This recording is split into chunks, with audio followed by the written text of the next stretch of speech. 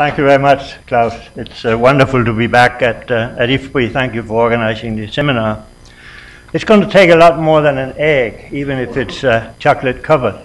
It's going to take the egg and the chicken and the cow and just about anything else you can imagine that's related to the food system to solve the, um, the food problems of the world. In other words, we need a multi sectorial approach to solving the food problems of the world. That's one of the conclusions that Derrill Watson and I came to as we were reviewing the literature and trying to come up with a cohesive um, essay, if you like, on food policy. Uh, the essay is in this book, and we left some brochures outside. What I'm going to do today is talk a little about some of the uh, lessons that we learned from, from doing the book. And we actually did go in and review a tremendous amount of literature, including, of course, uh, a lot from IFPRI. Uh, so I'll show, I'll talk about some of those messages. Then I want to talk about the food crisis or crises. And then I'll spend the rest of the time talking about what I consider to be the emerging or current challenges in the area of food policy. I'm not going to try to set an agenda for food policy research. That would be um, very unwise of me doing such a thing at IFPRI. But I will talk about food policy challenges uh, as, I, as I see them. So if we need to understand and improve food policy, we need to have policies, policy recommendations. We need to help governments and help decision makers decide what is needed. We have a tremendous amount of literature on what, what policies are needed. We have much less on how. So we tell governments what they should be doing, if they want to achieve this particular goal or that. We give them options. Of course, uh, IFPRI doesn't give recommendations, but I can because I'm no longer I'm affiliated with the university, so I'm free to do that. But we uh, are very short on how. So if you talk to a government official, you talk to an implement to a decision maker, and you give that decision maker a set of options. If you do this, that will happen, and so on. That policy maker may not know how to bring this about. So we need a lot more work on the how question. Yes, a lot of that is context specific, uh, but it is a researchable topic that we haven't done nearly enough about. We also need to know who is going to make those decisions. We need a political economy approach to food policy analysis. And by political economy approach, I'm talking about stakeholder analysis. Because it's fine to have the right policy and the government knows how to implement it, but it can't for political reasons. Most of the policies that are that end up being implemented are implemented after uh, a process that consists of stakeholder analysis. So the political economy approach, I believe, is extremely important as we try to understand and improve food policy. I already mentioned that we need a systems approach. We need a comprehensive systems approach um, because we need to understand the feedback loops the food system is not a linear, static system. It is, as I will come to in a minute, a dynamic. It's a dynamic system, it's a behavioral system. It can be influenced by the stakeholder groups, by government and others in this business. We need a multi-sectorial and multidisciplinary approach. Uh, no, it's not easy, but it is necessary. And as I mentioned a couple of seconds ago, we need a dynamic behavioral food system. And this is the way I see it in its most simple form. You have a food system which can be influenced by changes in the behavior of the various stakeholder groups. I'm mentioning some of them there, but there can be many others. There are basically three things that government can do to change the food system change the incentives, change regulations, or develop and or disseminate knowledge. Those are the only three things that governments can do to change the food system. After the change has happened in the behavior of these various agents, uh, we will have a different food system. That's all I'm going to say about kind of the, the, the overriding lessons that we, that we came, came away with when we wrote the book. So let me talk about five food crises, and then I'm going to come back and spend most of the time on this one. And I think that's on the minds of, of most people. The international food price increase and volatility that we've seen during the last uh, five, six years. But there are other crises out there. Starvation in the Horn of Eastern Africa. That is, if anything, much more acute. It's something that has to be dealt with now. I'm not going to talk much about that today uh, because, um, because I think we probably need, the, world probably needs more, knows more or less what needs to be done. It's lack of political will that is not happening, in my opinion.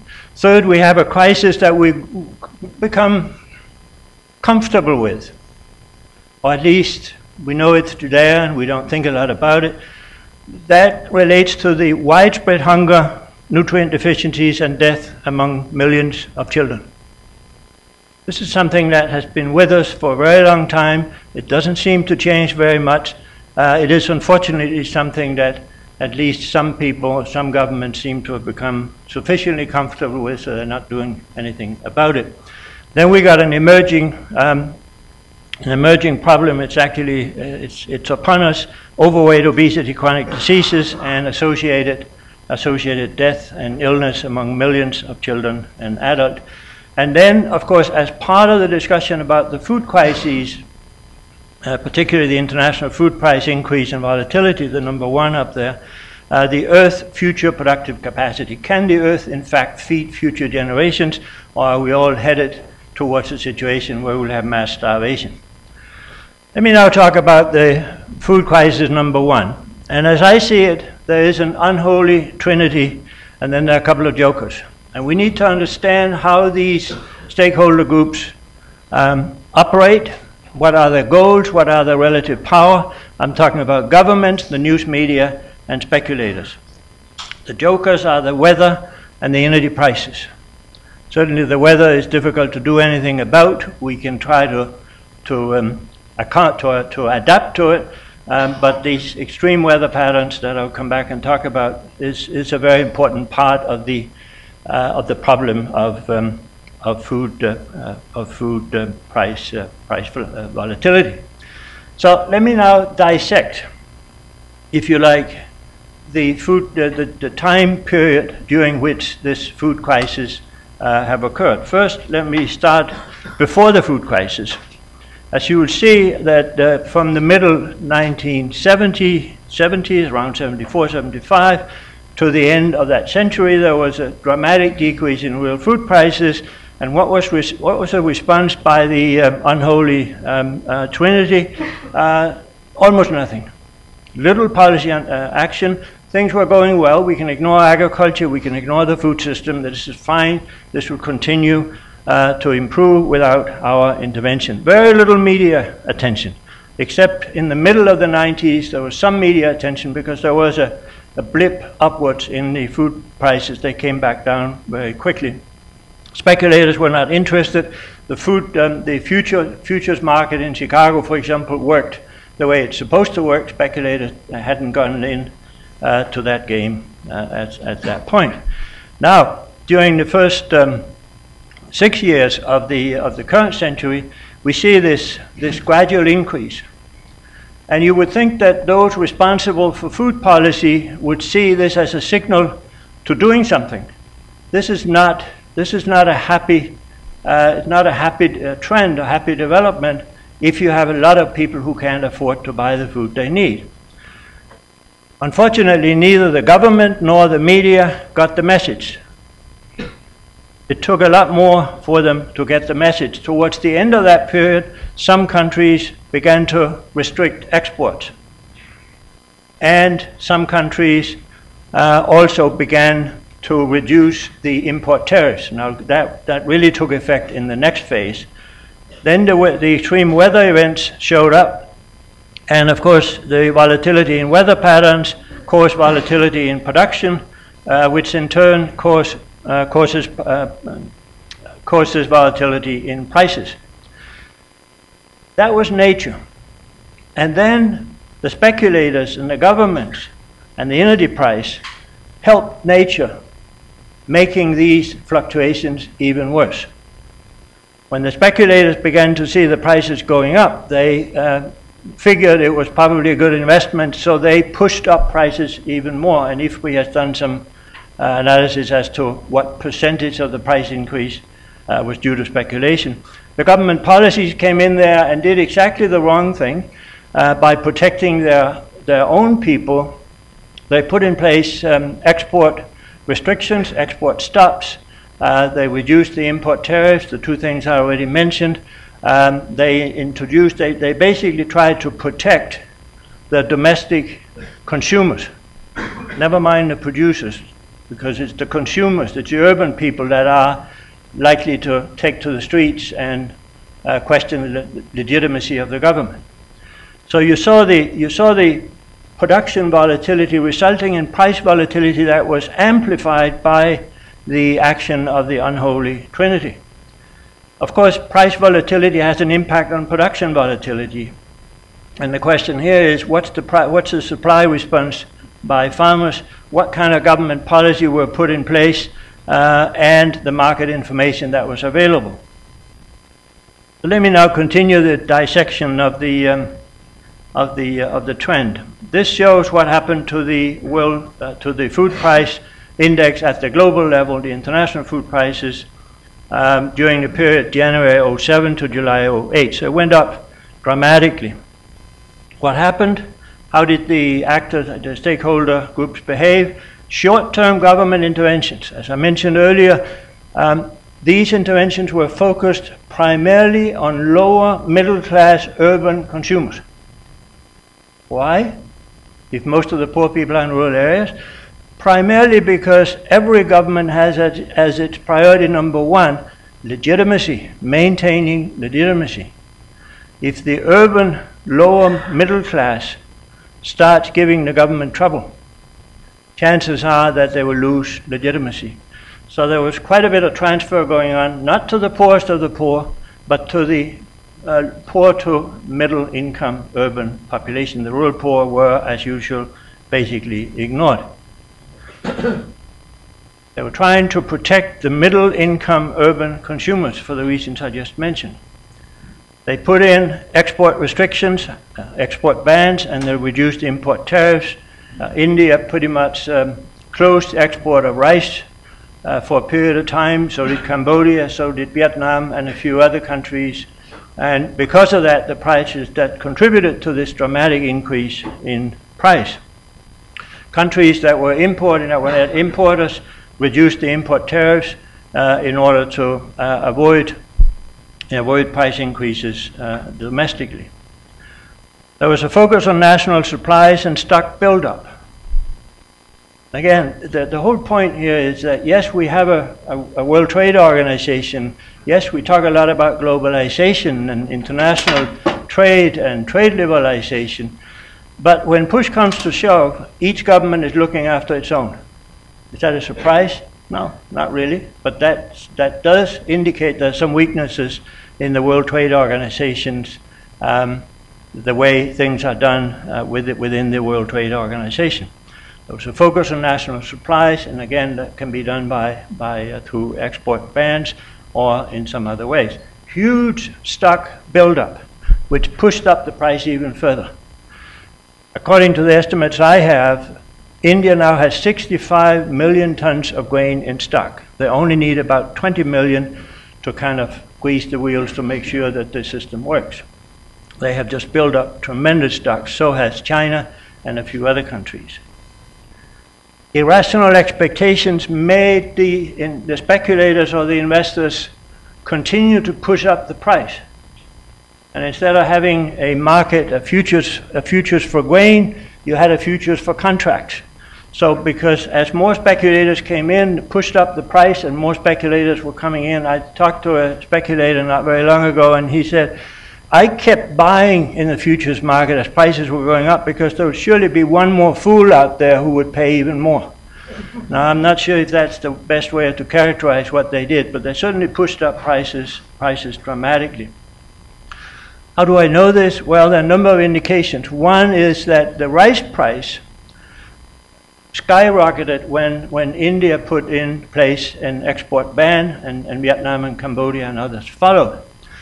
The price kept going up. The Philippines, which is a net importer of rice, became very concerned because in the Philippines, the rice price is an important component to assure um, uh, that, um, that governments can stay, can stay in power, that they have legitimacy.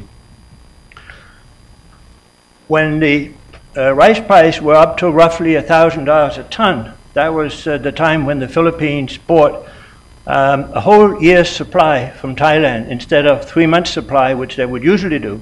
So they just went all in, they went all out and got for a whole year at an extremely high price. Then there was some uh, rice sitting in Japan that Japan had imported from the United States as part of the WTO agreement, but the Japanese didn't really uh, want this rice. It wasn't the kind of rice that they preferred, so it was sitting in warehouses there was quite a bit of discussion back and forth as to whether they could release some of that rice. And uh, fi- um, I believe the US government actually had to agree to that. The US government finally agreed to that, and about five minutes after they agreed, the rice price dropped dramatically. As far as I know, no rice was ever released from those stocks. This was pure speculation. The media, of course, likes sensation, and if you don't have a sensation, they'll make one. Uh, if I haven't offended everybody by now, i I'm, I'm working on it. But it seems to me that there was a tremendous exaggeration by the media, by the media when prices began to go up in the period I just showed you. That, of course, would push prices higher because the decision makers got worried. So they would, they would act uh, in, in, as though the prices would, would continue to go up almost forever. So the media, while the media is usually a very important component of uh, democracy and in fact of how we do business, in this case, it seems that they didn't, uh, they didn't stick with what they were, what they should have been doing. This is just an illustration. Uh, I have a whole stack of uh, newspaper articles, front page stuff that says this is the apocalypse, the food apocalypse, this is the end of the world kind of thing. Uh, this is one of the books that came out, The Coming, the coming Famine, the Global Food Crisis. Uh, and there were, I have a stack of books as well that, that's, you know, the food war and the end of food, etc., etc., etc.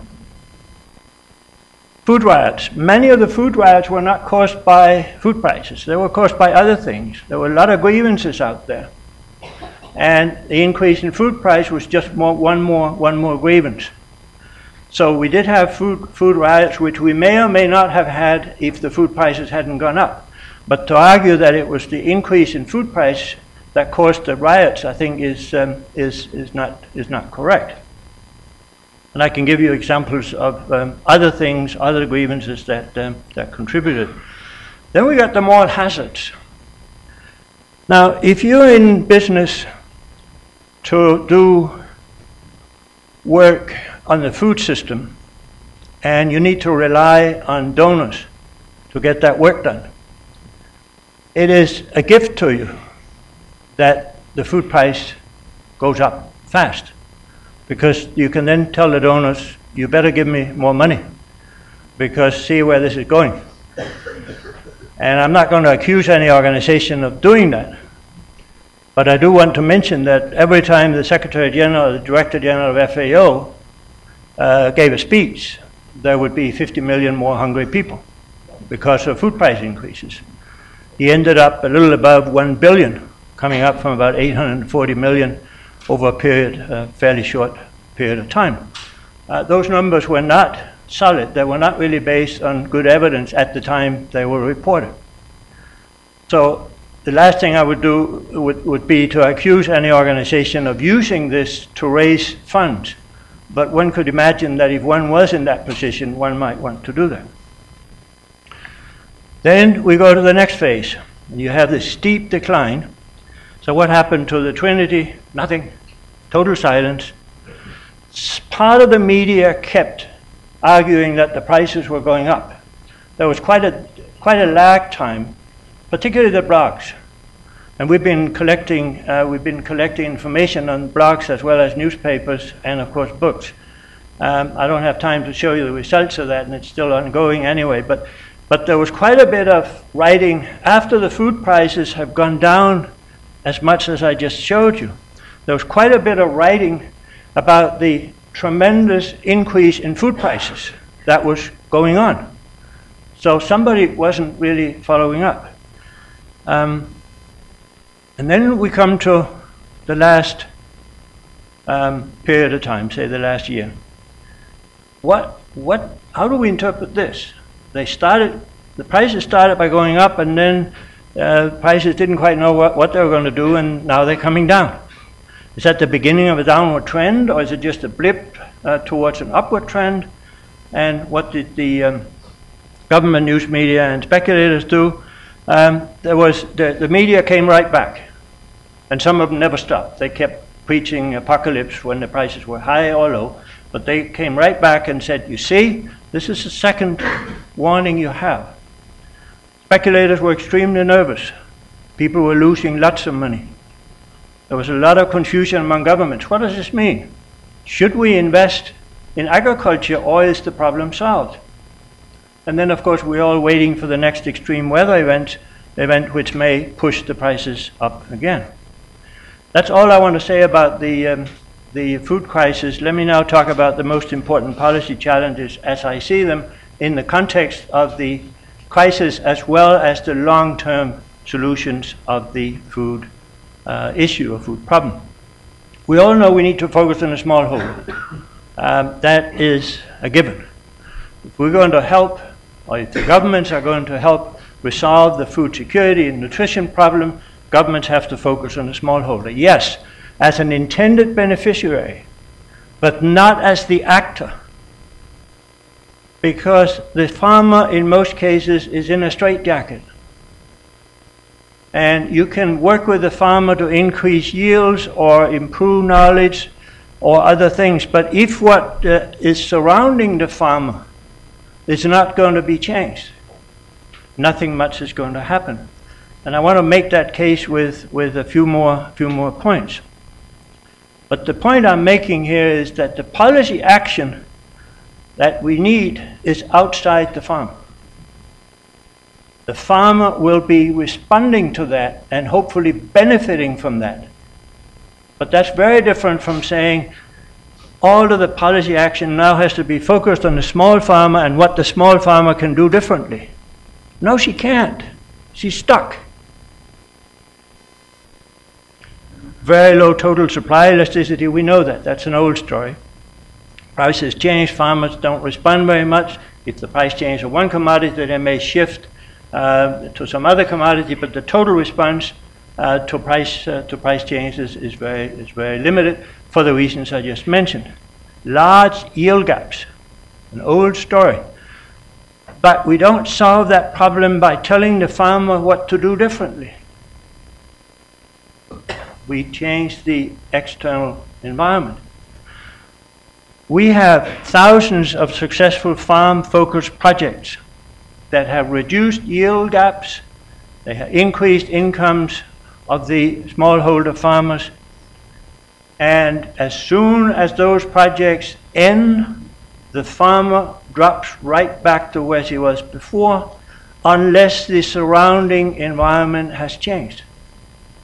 Sasakawa project is an illustration of that. Very successful as long as the project people assured that the farmer could get access to inputs at a reasonable price, and as long as the farmer had a market, they facilitated a market for the farmer. When the projects ended, as I mentioned, these outside, there was no sustainable change in the outside, in the outside environment. The One Acre Fund, very, very successful in doubling or tripling yields as long as the project took care uh, of the of the external uh, external adverse factors. Millennium villages, same thing. Underutilized potential gains from existing technology, I think, is what we're looking at. If these farmers can double or triple their yields, if given access to inputs at reasonable prices, if given access to domestic markets, uh, market information, credit, um, in institutions, if they can do that, wouldn't they do so if we had a sustainable change in this environment within which the farmer is caught? I believe so. But the projects, of course, remove these external factors only temporarily. When the project ends, these factors are still there. So the gains are not sustainable. Do we have demand constraints? Is that one reason why farm smallholders are not producing more? Yes, in some cases that is so. When the World Food Program decided or were able to buy food from farmers in developing countries, there was food available. Farmers were able to increase yields, make more food available. Because that was one external constraint that was removed. The World Food Program uh, increased the demand. We have huge post harvest losses, and that's another reason why we have to focus outside the farm. About 30% of the food that leaves the farm is wasted. Don't hold me to 30, it may be 28 or 32. These numbers are obviously not very exact, but it's a large amount of the food that's being produced that never enters, enters the, um, never reaches the final consumer. Rapidly increasing demand for post-harvest activities as the urbanization increases, as people are moving from rural to urban areas, we need to pay a lot more attention to the supply chains and the environment within which these supply chains or value chains, if you like, operate. And we are not providing enough research, we're not allocating enough research to the post-harvest portion of the food system. That's all I'm going to say about that argument. I look forward to a good discussion of that side. There was one more, namely the adverse trade politics or policies that both internationally and, and domestically, again, they are outside the farmers. Um, the farmers, um, he can't uh, see his, he can't do much about it. So, what are some of the policies I'm recommending?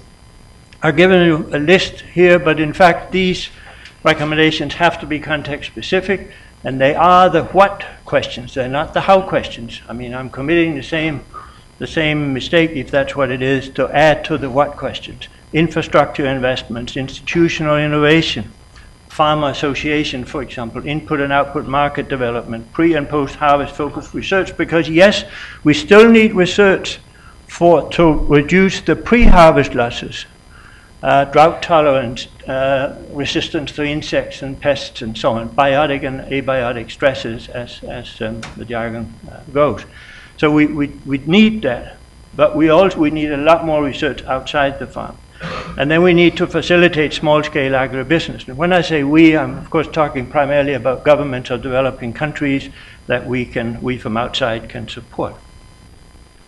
Another very important policy cha um, challenge is sustainability in food production. We need sustainable intensification. But you can't have that. I'm so sorry, you can't have that because the environmental Kuznets curve tells me that if you want to increase income, you're going to damage your natural resources.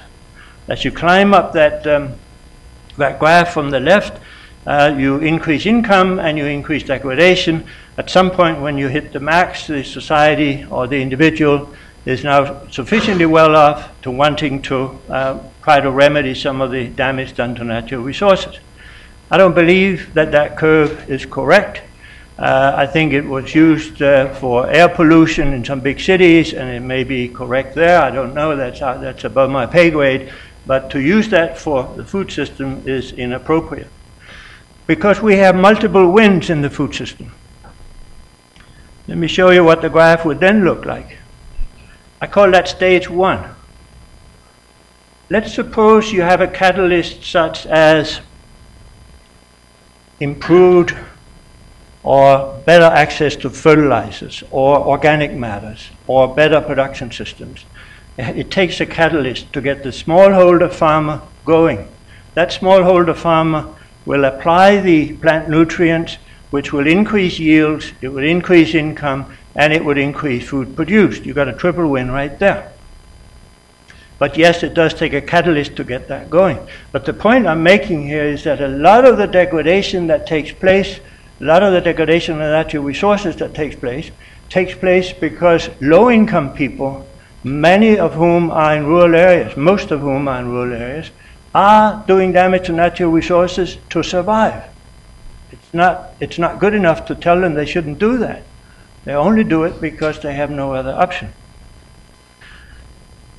I also think if we're interested in sustainability, we have to move towards a full costing. And by that, I'm talking about estimating the cost of the damage we're doing to natural resources and to the climate, adding that cost to the production cost, and have the consumer pay for it. Then your um, Kuznets curve is going to look differently. We have the stage one, and I can only point to one side and apologize. So we have stage one, which is where I think you have multiple winds. Then you have the, the current Kuznets curve, which may well be true in some cases. Uh, and then you have full costing where you can actually avoid doing degradation as incomes go up. Now, do I have any data to back this up? No, I do not. This is a hypothesis. This is something I think we need to work on a lot more to see if we can't achieve the dual goal of sustainable management of natural resources and the climate on the one hand and increase production of food on the other. That's what I call sustainable intensification. We need international institutional innovation to make that happen. Let me give you just one example. The Danish cows burp a lot. Every time they burp, they release uh, methane gas. When you convert that to CO2 equivalent, uh, they're doing damage to natural resources by contributing, uh, they're doing damage to the climate by contributing to um, global warming. So why don't we put a tax on the cows, a burp tax? And they actually talked about it in the Danish parliament, and they came to the conclusion that if they did that, they would run the Danish cattle uh, farmers out of business because the Germans were not going to do that, and others were not going to do it. So if we are going to um, try to um, arrive at a full costing or move in that direction, and a burp tax on cows is only, is only an example. There are many, many ways we can begin to, what economists call, endogenize the externalities, natural resource and climate externalities. we need international um, agreements to do that. We can have some green taxes, as we have in some countries, but if you go very far down that road, you, you, you cannot compete with those who are um, making money by, uh, by doing damage to natural resources. And given that the Kyoto Agreement was never signed by this country, and given there's not much uh, hope that what's going to happen in Durban uh, is going to make much difference, I'm, I'm quite pessimistic as to whether we'll ever get an international agreement, something like a full costing, whatever, whatever that may be. Another policy challenge I think we, we should uh, keep in mind, and this is something IFPRI has done a lot of work on during the last years, I'm not going to say much about it, achieving nutrition and health goals through the food system. We need to break down the silos, the silo between agriculture and health, for example. Nutrition tends to not have a natural home, so who knows where it is in, in the system. It's probably in some silo or sub-silo somewhere. We need to break down those silos and work together, as I mentioned at the outset, in a multi-sectorial, multidisciplinary way. We need to identify the pathways from the food system, not just agriculture, also post-harvest activities. Pathways between those things in the food system and human health and nutrition. And there are clearly win-win possibilities where we can achieve the agricultural productivity goal and improve nutrition at the same time. No, it doesn't happen automatically. It does not happen automatically. You can expand production without having any positive effect on nutrition. In fact, it can be negative. And there are trade offs, absolutely, there are trade offs. And that's why I think we need to see the food system as a means to an end, not an end in itself. And one of the ends should certainly be improved health and nutrition. We need to pursue diversity in production and consumption. That would help greatly reduce reducing um, micronutrient deficiencies if we can help households have a more diverse diet. And one way that that is happening is when you have a diverse production system. We have results now from several studies that show that farms that have a diverse production system are likely, more likely to have a diverse consumption system and therefore um, fewer, um, uh, fewer uh, family members suffering from micronutrient deficiency. We need to strengthen international institutions, and that's another very important policy challenge. The concentration in the agribusiness uh, needs to be managed, needs to be regulated. We have no antitrust legislation at the international level. Can you imagine if we didn't have that in the United States? Yeah, we can imagine that because there are periods when these laws are not uh, enforced, but uh, they are still in the book in the books. We don't have that internationally. So the concentration is resulting in exploiting other partners in the food system through monopoly or monopsony power.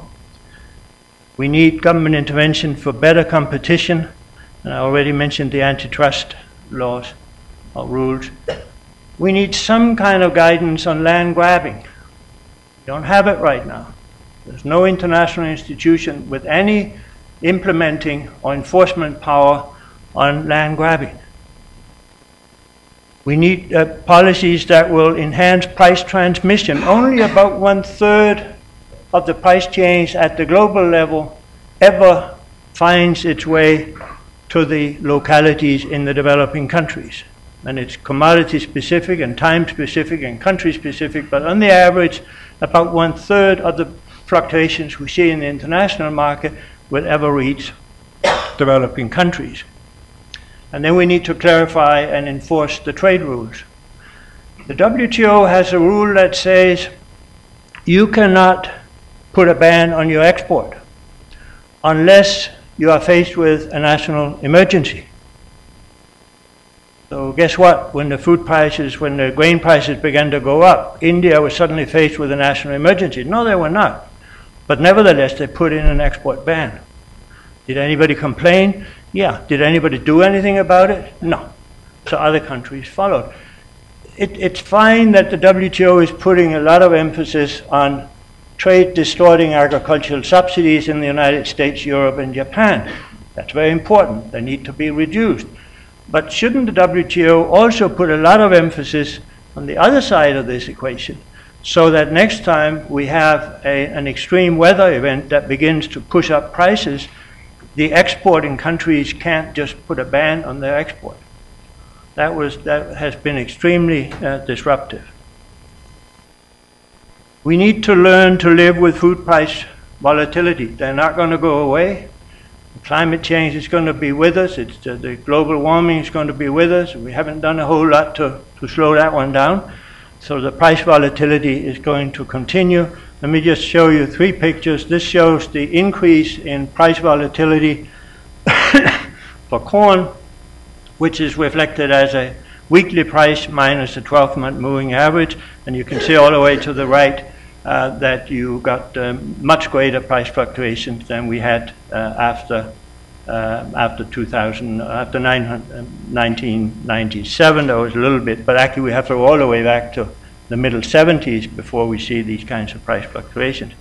Same for rice, same for wheat.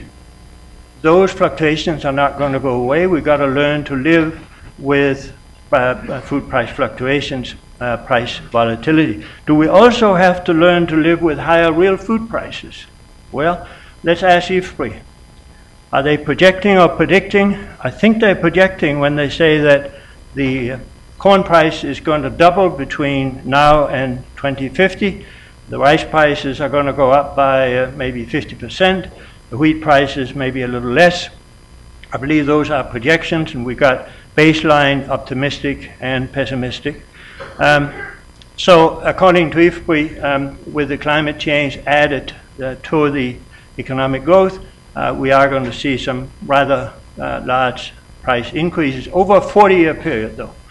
And then you ask Oxfam, and Oxfam says, no, no, no, the price increases are going to be much higher than that.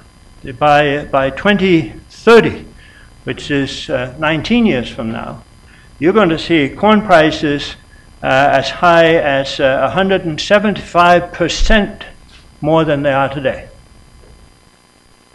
Are these predictions? I'm not sure. Is that really what's going to happen? I don't think so. Here are some of the real reasons or some of the reasons why the real food price does not need to change or to increase. Now, fluctuations are going to be with us. I don't know we can do much about that until we get a hold of climate change, which we may never do. We got the moral hazard again. We need to be very responsible when we report on what's happening in the food system so we don't sensationalize, so we don't dramatize. Even if the news media want us to, we should not.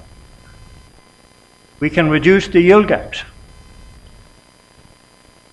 The yield gaps we have traditionally looked at, and yield gap, of course, is the difference between what the farmer is producing and what she could produce.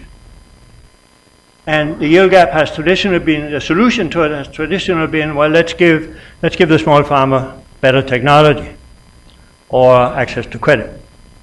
Well, my position is that the reason that we have the large yield gaps is found outside of the farm it's, uh, it's found by lack of infrastructure, lack of institutions, and I mentioned a few other things when I talked about the outside the farm uh, constraint.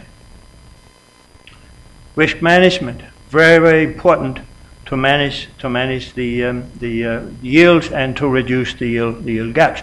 And remember, all these projects that I, as I mentioned, they were capable of reducing the yield gap dramatically in some cases with the existing technology. Now, does this mean we shouldn't do agricultural research anymore? Of course not. But the research we do today is going to have an effect 20 years from now.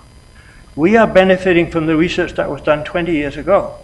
So, yes, we need to do more agricultural research, but that in itself is not going to solve the problem unless we utilize the results from that research. Property rights extremely important for reducing the yield gaps. Presumably, the stock buildup is going to end. More than half of the 65 million tons of grain that India has in stock is sitting outside. They don't have the facilities to put a roof over these things. It's rotting. So presumably that is going to come to an end, which again would slow down any potential price increases. There is a lot of underutilized land that can be brought into production it will have to be done in such a way that it doesn't do damage to natural resources, but there is plenty of land still available. Here is one illustration of the kind of land that could be turned into food production.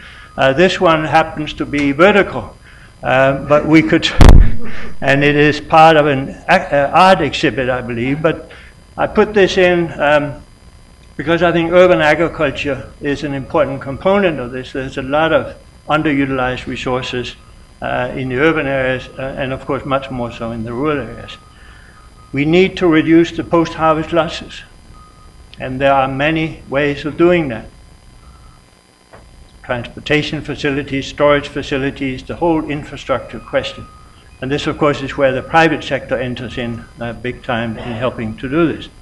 We need to improve the water use efficiency. The efficiency in water use in agriculture in many places is very low and it can be greatly increased, and we have experts in the room that can speak to this. The cost of desalinating seawater has dropped dramatically during the last few years, and the question is, will it, can we bring that cost down to a level where, uh, where it can be uh, used economically in agriculture? Um, I hope it can, but I don't know. Now, there's, an, there's a question of energy use, and again, we have to look for sustainable sources of energy for the desalination. I would like the US government to end the biofuel mandates, and once they've done that, they should end the subsidies. Subsidies are really not binding right now, mandates are.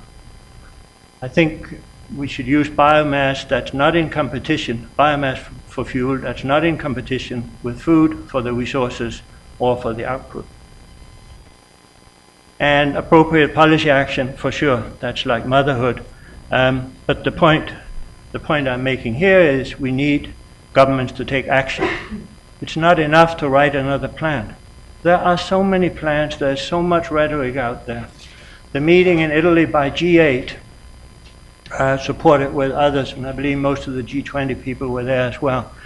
The agreement was to allocate 20 billion US dollars. It later became 22 billion US dollars for agricultural development and food security improvement.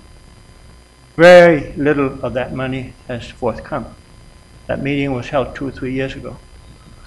So we really have a responsibility, whether we are a developing country farmer, private sector government, or an international development assistance agency, uh, not to make promises we can't keep. And we're not keeping this promise. And let me end on this one. The conferences we go to usually are missing a translator that will translate rhetoric into action. We need to stop having international conferences or trying to make sure that they result in action. And with that, Klaus, I probably offended everybody, let me stop.